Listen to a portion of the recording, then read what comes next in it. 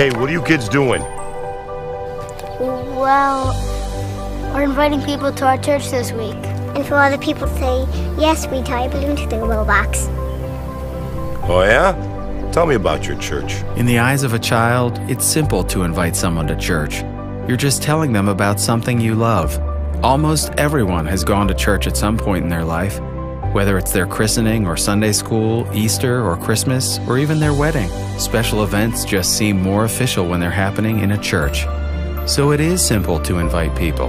Just tell your neighbors, hey, there are really great things happening every week in our church. And you can consider this your official invitation to come back and join us each Sunday. We'll save a seat for you. Anyway, we did have a lot more people we wanted to invite. But we ran out of balloons. Do you have any balloons?